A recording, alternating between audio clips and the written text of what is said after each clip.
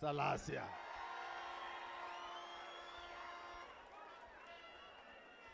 Haya, karibu mheshimiwa. Haya, Bwana Yesu asifiwe. Haleluya. Basi mimi nikiwa hapa naitwa Peter Salasia.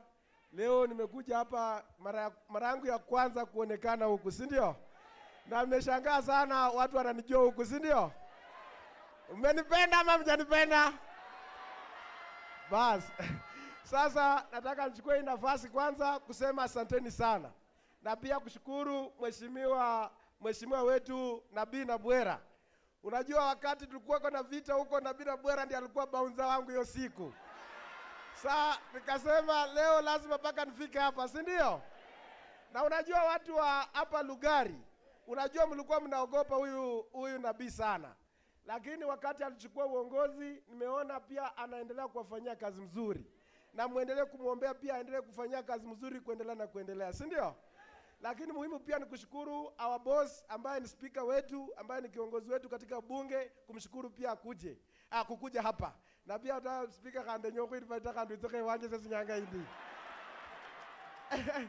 lakini muhimu sana sisi tunasema, mimi naweza sema hivi, watu wa huku mmependa gavana, si ndio?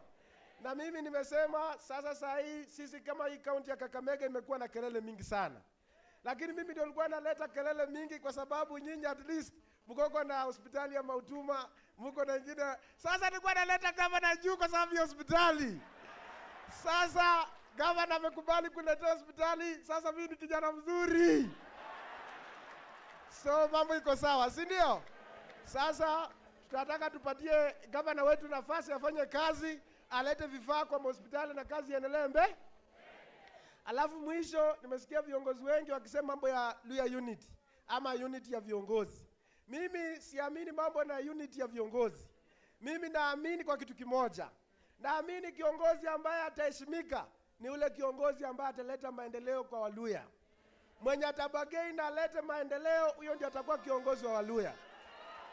Ndio mimi nataka niwaulize viongozi wetu kwa heshima kubwa, mkienda huko, it should not be about the position, it should not be about the selfish interest, it should be about the development kwa ule mwananchi wa kawaida. And even these people hawatakuambia tunifuate, au wenyewe watafuata hiyo na watakufuata, si ndio? Sasa mimi nataka niseme hivi, hata ile kelele ambayo imekuwa huko katika huko Trans Nzoia, hiyo kelele kidogo sana. Mimi naweza solve hiyo kelele, na mimi naweza solve hiyo kwa sababu secret iko kimali moja, na najua penye shida inatokelezea, na mwenye shida ako hapa.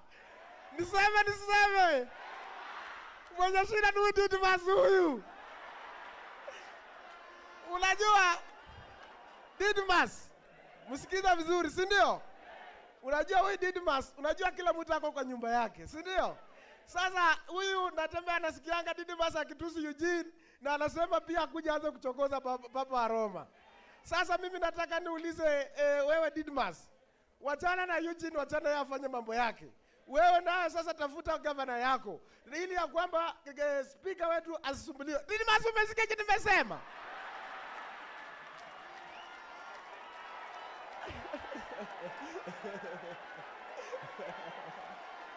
Eh. Sasa so mambo yetu ya Didima hiyo ya huko taongea, si ndio? So asanteni sana, Mungu awabariki na nimeendelea kuwapenda. Asanteni sana.